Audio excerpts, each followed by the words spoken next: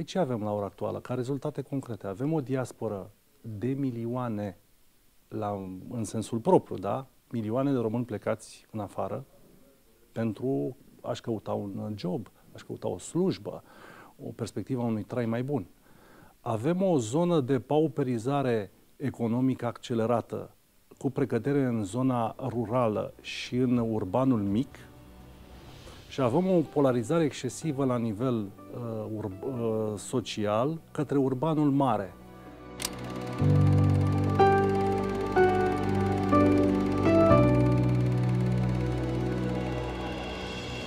Acum, legat de conservatorismul creștin, aș vrea doar să punctez două idei introductive care sunt importante două nume care au avut uh, un rol determinant în ceea ce privește apariția conservatorismului mai târziu ca doctrina politică și aici, în primul rând, mă refer la un celebru dicton care a fost uh, spus, făcut public de Lucius Carey, al doilea, Viconte de Falkland, care spune așa, dacă nu este necesar să schimbi ceva, este necesar să nu schimbi nimic. Plecând de la acest dicton, conservatorismul ca și doctrină politică a fost elaborat uh, inițial, fundamentat inițial de gânditorul englez Edmund Burke.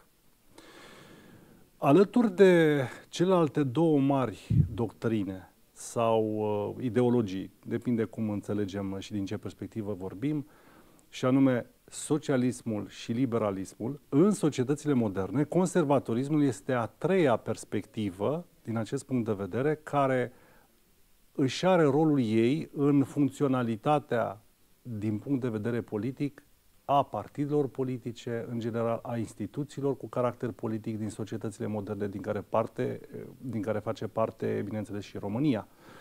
Ei bine, legat de acest conservatorism creștin, cu valori creștine, la un dat mi-aduc aminte chiar și domnul Teodor Baconski spunea într-o carte Creștin și Democrație, apărută cam prin 2010 în, la editura Curta Veche, creștinismul, uh, deci conservatorismul, în esență, se bazează, are această, să spunem, uh, poate face o simbioză cu valorile sociale ale creștinismului și cu elemente de, să spunem, de forță în ceea ce privește partea economică luate din liberalism, poate reprezenta o alternativă viabilă din punct de vedere a ceea ce am fost până la momentul actual viața politică din România, din ultimii 30 de ani.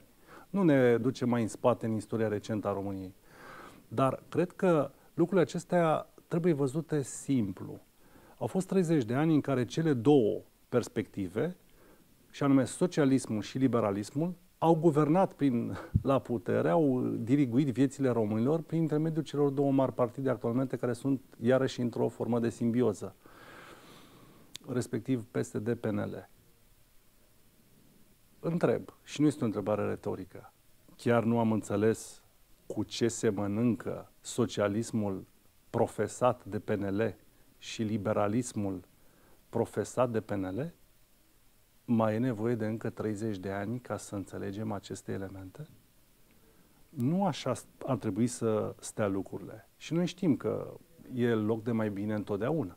Dar vin să lansez această idee nu, nu că ar fi în premieră absolută. Nu e.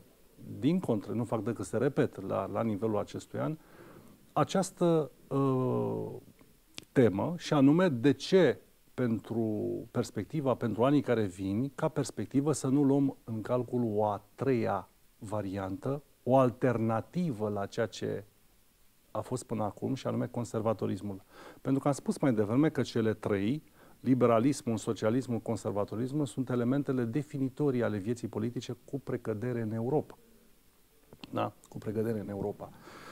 Uh, și atunci, pentru că știm și vedem și simțim care au fost efectele pe termen lung ale celor două perspective, cea liberală, așa cum a fost ea profesată de actualul PNL și cea uh, socialistă profesată de PSD, de ce să nu luăm în calcul această perspectivă nouă?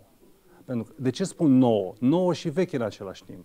Nouă pentru că e făcută de alți oameni, oameni noi care intră, să spunem, din perspectiva aceasta, au valorile acestea noi, uh, veche pentru că ea a mai fost în piața politică, da? Uh, nu vrem să vorbim, uh, să spunem, de elementele negative recente, a ceea ce au fost unii care s-au considerat a fi conservatori în zona publică din România și știm ce s-a întâmplat. Au ajuns chiar și la închisoare. Nu despre asta este vorba, ci vorbim despre acel tip de conservatorism care fiind bazat pe valorile sociale ale creștinismului, chiar poate să fie o alternativă viabilă la ceea ce se întâmplă actualmente. Uh, spuneam mai devreme despre efectele uh, celor două mari perspective, socialismul și liberalismul în România. Păi ce avem la ora actuală? Ca rezultate concrete. Avem o diasporă de milioane, la, în sensul propriu, da? Milioane de români plecați în afară pentru a-și căuta un job, aș căuta o slujbă, o perspectivă a unui trai mai bun. Avem o zonă de pauperizare economică accelerată, cu precădere în zona rurală și în urbanul mic, și avem o polarizare excesivă la nivel uh, ur- uh, social către urbanul mare. Uh, știm despre București că este undeva sus din punct de vedere al uh, veniturilor, dar știm la fel de bine, de exemplu, despre orașe mici, cum ar fi, să zicem aici, Câmpul Lung, Mușcel, da, sau Curtea de Argeș, pentru că ele sunt din județul Argeș și eu de acolo fiind, care sunt undeva jos. Există această perspectivă de pauperizare accelerată a societății uh, urbane mici din România și a celei rurale extrem de... Uh, care a luat avânt, a luat viteză. Și atunci, de ce să nu inversăm un pic această, această, această tendință de sărăcie. De ce să nu schimbăm un pic uh, și de unde putem schimba această perspectivă? O schimbăm de acolo de unde se schimbă totul, din zona politică. Aici este de fapt miza reală a ceea ce urmează să întâmple în anul 2023 de acum încolo și bineînțeles în 2024. O a treia alternativă, pe lângă cele două care până acum au făcut, să spunem, au ținut din punctul ăsta de vedere capul de afiș în ultimii 30 de ani, cred că este de luat în considerare tocmai pentru aceste simple și evidente considerente explicate mai devreme. Despre asta este vorba.